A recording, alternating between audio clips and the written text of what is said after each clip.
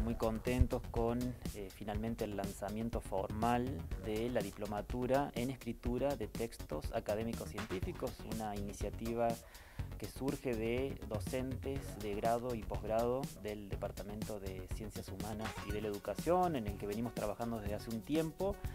La verdad que muy contentos, te decía, porque tuvo muchísima demanda.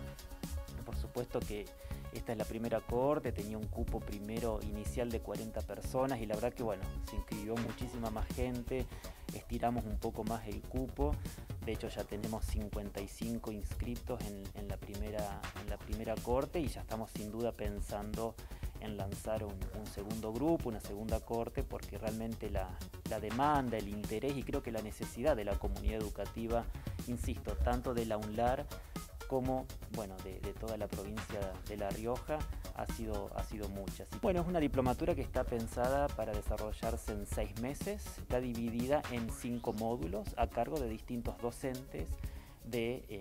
de la Universidad Nacional de La Rioja y también nos acompañan docentes de la Universidad Nacional de Córdoba, que son docentes también de posgrado de, de la UNLAR. Todo el cursado es virtual, en realidad la diplomatura estaba pensada en un primer momento antes de, la pandemia en modalidad presencial, eso se trabajó durante el 2019, pero bueno, tuvimos que por supuesto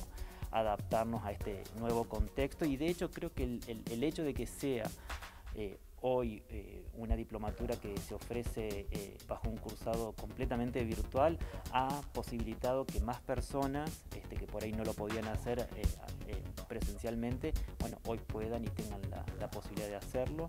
Y hemos visto que se han anotado profesionales, docentes y profesionales de variadísimas disciplinas desde gente que por supuesto trabaja en el sistema educativo, pero también profesionales como abogados, arquitectos, ingenieros, que bueno, que entienden necesario justamente profundizar sus conocimientos en la escritura académica y científica, que, que sin duda es muy, muy importante.